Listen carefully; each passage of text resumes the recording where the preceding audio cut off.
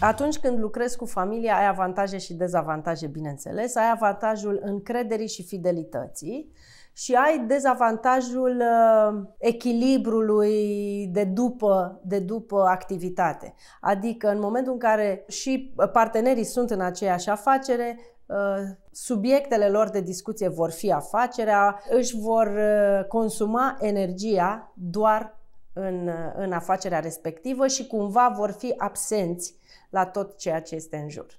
Ca să poți să reziști cu un partener în afacere, e bine ca în momentul în care părăsești biroul sau locul de muncă să nu mai discuți despre afacere, să-ți mărești orizontul, să ai prieteni și să îți schimbi pur și simplu uh, locul de activitate. Familia să fie ceva complet diferit de, de locul de muncă.